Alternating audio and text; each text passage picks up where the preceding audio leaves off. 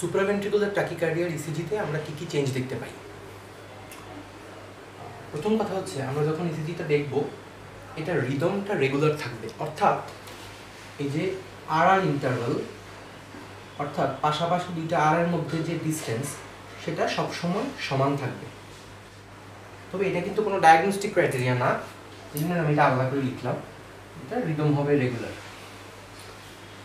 সবচেয়ে স্ট্রাইকিং যে ফিচারটা যেটা সবচেয়ে বেশি আমাদের চোখে পড়বে, সেটা হচ্ছে এসভিটিতে কিউআরএস কমপ্লেক্সটা হবে ন্যারো এখন ন্যারো কিউআরএস বলতে কি বোঝায়? আগে আমরা একটা নর্মাল কিউআরএস কমপ্লেক্স দেখি। এই যে নিচে একটা নর্মাল ইসিজি আঁকা আছে, এখানে এই যে একটা কিউ ওয়েভ একটা আর ওয়েভ এস ওয়েভ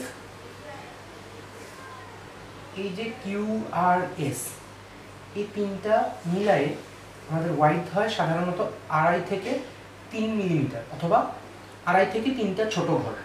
এটা হচ্ছে আমাদের নর্মাল ওয়াইড হয়। এই সুপ্রাভেন্টিকুলার ট্যাকিকার্ডিয়াতে এই কিউআরএস কমপ্লেক্সের ওয়াইডসটা কমে যাবে। অর্থাৎ আড়াই ঘরের চেয়ে কম হবে। এখন এই আড়াই ঘরের চেয়ে কম হবে বললে না ডায়াগনোসিস করাটা কঠিন হয়ে যায়। আমরা দেখব এটা ন্যারো কিনা, আমাদের চোখের দেখায় কি মনে হয়। এখানে মনে হবে যে এই যে, এই এই যে দুইটা লাইন একটা উপরে উঠছে, একটা নিচে নামছে, দুইটা লাইন একটা যেন আরেকটার উপর পড়ে যাচ্ছে। যেরকম এবং হ্যাঁ অবশ্যই এটা আড়াই মিলিমিটারের কম, কিন্তু অ্যাকচুয়ালি ইসিজি দেখে বা আপনি যখন পরীক্ষার হলে বা বেড সাইড ইসিজি দেখবেন, এই আড়াই মিলিমিটারটা দেখে বোঝা কষ্ট। তো আপনারা দেখবেন এটা ন্যারো হয়েছে কিনা এবং চোখে পড়ার মতো ন্যারো কিনা। এই যে দেখেন, এখানে অনেক ন্যারো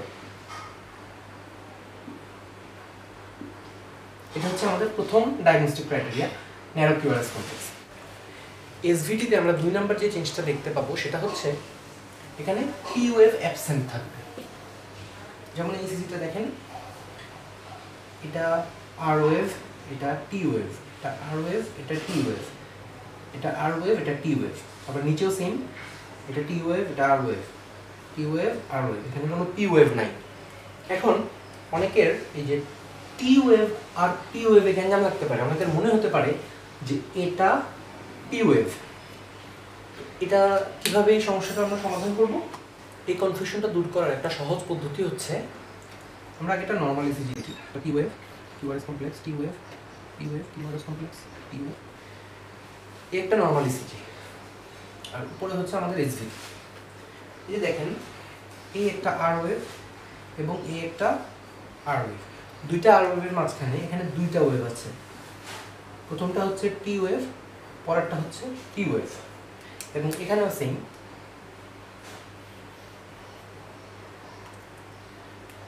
এই আর এবং এই আর এর মাঝখানে দুইটা ওয়েভ আছে। এটা টি ওয়েভ এটা পি ওয়েভ মনে রাখতে হবে যে প্রথমটা টি পরেরটা পি এখন, সবচেয়ে ইম্পর্ট্যান্ট যে কথাটা সেটা হচ্ছে টি ওয়েভ কখনো অ্যাবসেন্ট হয় না। টি ওয়েভ সবসময়ই থাকে। এই টি ওয়েভটা মাঝে মাঝে অ্যাবসেন্ট হইতে পারে। এর মানেটা দাঁড়াচ্ছে যে যদি আমি কোনো ইসিজিতে এরকম পাই,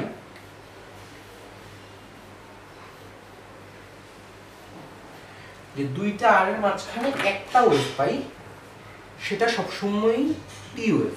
এটা কখনোই পি ওয়েভ হবে না। এটা সবসময়ই টি ওয়েভ তো এই পদ্ধতিতে আমি দেখি, এই যে এখানে একটা এসভিটি ইসিজি দুইটা আর মাঝখানে একটা ওয়েভ তার মানে এটা টি ওয়েভ এটা টি ওয়েভ এটা টি ওয়েভ অর্থাৎ এখানে পি ওয়েভ নাই।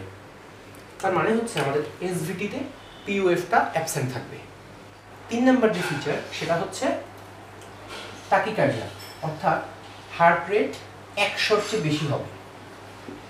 More than one hundred beats per minute এটা আমরা কীভাবে বুঝব? যেহেতু রিদম রেগুলার সেহেতু হার্ট রেট সমান সমান তিনশো ডিভাইডেড বাই দুইটা আর ওয়েভের মাঝখানের বড় ঘর। এখানে দেখি যে দুইটা আর ওয়েভের মাঝখানে একটা বড় ঘর আছে। এখানেও একটা বড় ঘর আছে, মোটামুটি একটা বড় ঘর আছে।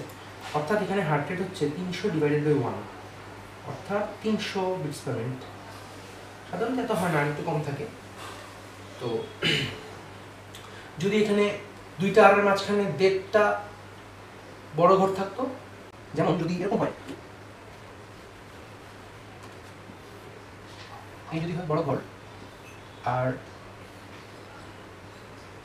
এই যদি হয় আমাদের ইসিজি দেখেন মোটামুটি একটা আর একটা অর্ধেক। অর্থাৎ দেড়টা যদি থাকে তাহলে আমাদের হার্ট রেট হইতো তিনশো divided by one point five যত হয় তত। সবশেষে একটা কুইক রিক্যাপ এসভিটি বা সুপারমেন্টাল ট্যাকিকার্ডিয়াতে তিনটা জিনিস থাকবে। প্রথম হচ্ছে ন্যারো কিউআরএস কমপ্লেক্স দ্বিতীয় হচ্ছে কিউএস থাকবে না, এবং তৃতীয়ত হচ্ছে পেশেন্টের হার্ট রেট একশোর বেশি থাকবে। আশা করি বুঝতে পেরেছেন।